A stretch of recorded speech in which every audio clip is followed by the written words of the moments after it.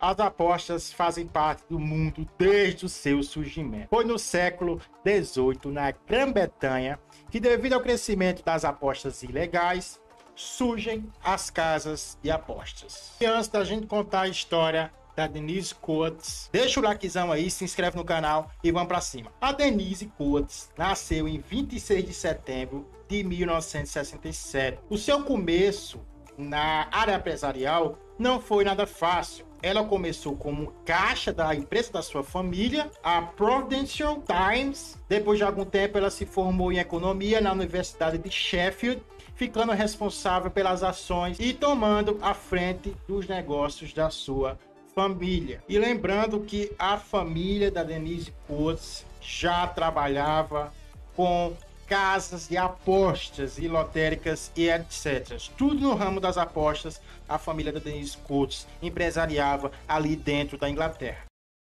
Denise e seu irmão John compraram algumas pequenas empresas no ramo de apostas no ano de 1995. No início dos anos 2000, ela adquiriu o domínio online do nome bet365.com.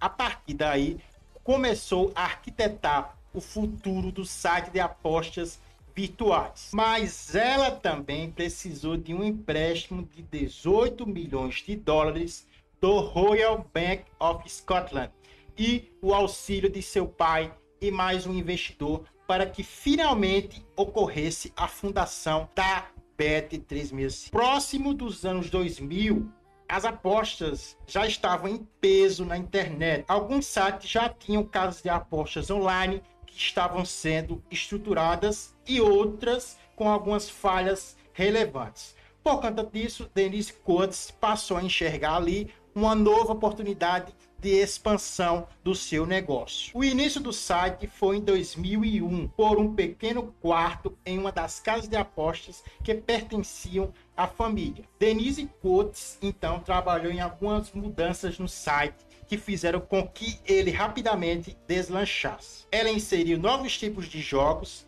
tinham lojas físicas para aumentar sua credibilidade entre os apostadores e ainda trouxe mais recursos tecnológicos. Para vocês que não sabem, rapaziada, a Inglaterra é o selo das apostas esportivas. E lá a rapaziada, por incrível que pareça, eles não apostam muito em futebol, Copa do Mundo, Olimpíadas e etc. O mercado que é mais forte na Inglaterra é a corrida de cavalos. Muitos empresários, até bilionários, apostam em peso em corridas de cavalos. É o mercado mais famoso de lá e o que gera mais movimentação de dinheiro e a liquidez também em relação às casas de apostas presentes no Reino Unido. Em pouco tempo, o site então se tornou um dos maiores portais de gênero do mundo, sendo que as ofertas são mais para jogos esportivos ou de azar. Além disso, a Bet365 possui diversos escritórios na Europa, como em Manchester, Gibraltar, Malta, Bulgária e também na Austrália. Atualmente, o grupo movimenta cerca de 85 bilhões de dólares em apostas anualmente. Assim, o montante a coloca entre as 352 pessoas mais ricas do mundo e a mulher mais rica do Reino Unido. Além disso, a empresária é também sócia do time britânico de futebol, o Stoke City, que nesse momento está disputando a Championship, que é a segunda divisão do campeonato inglês. E o estádio da equipe do Stoke City possui também o nome da Bet365. Além disso, a dona da Bet365 também tem uma instituição de caridade que leva seu nome, a Denise Coates Foundation doa milhões para organizações de diversos focos como saúde e educação. Ela já foi reconhecida como a mulher mais influente do Reino Unido pela BBC Rádio 4. Por mais de 50% das ações, Denise Coates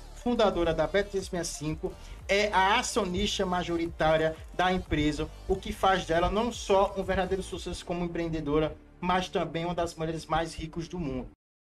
E aí, rapaziada, vocês gostaram da história da Denise Coates? Praticamente agora vocês estão por dentro de quem realmente é a dona da Bet365.